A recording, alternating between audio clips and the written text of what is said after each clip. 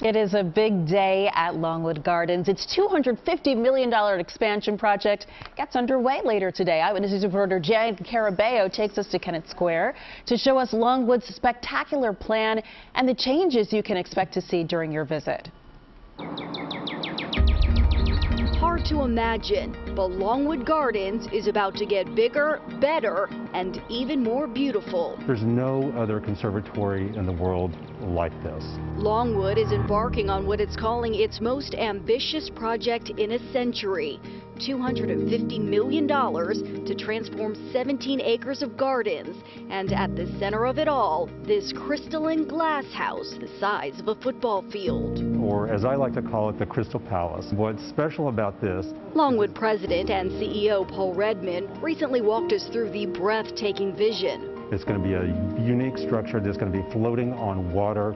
Um, it's going to be a series of canals and islands. So when you walk into this new conservatory, it's going to be like walking into a grand cathedral in Europe or something. The project is called Longwood Reimagined, and it's meant to expand and revitalize what is now the west side of the conservatory. The colorful Acacia Passage and neighboring Silver Garden will remain, but everything west of that will be fenced off starting March 1st. It's about horticulture and education and just enjoyment. To that end, the fan favorite bonsai display will eventually be featured in an outdoor bonsai courtyard.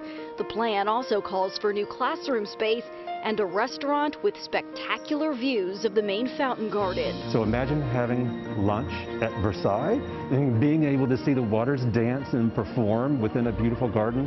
That will be our new restaurant. Those parts are expected to open by 2024. First up, though, the much-loved Orchid House. Its renovation should be complete as early as this fall.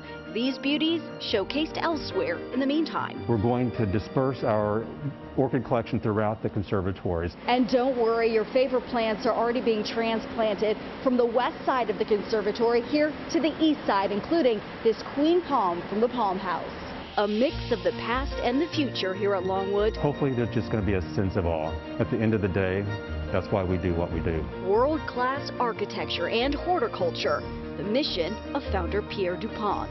In Kennett Square, Jan Carabeo, CBS 3 Eyewitness News.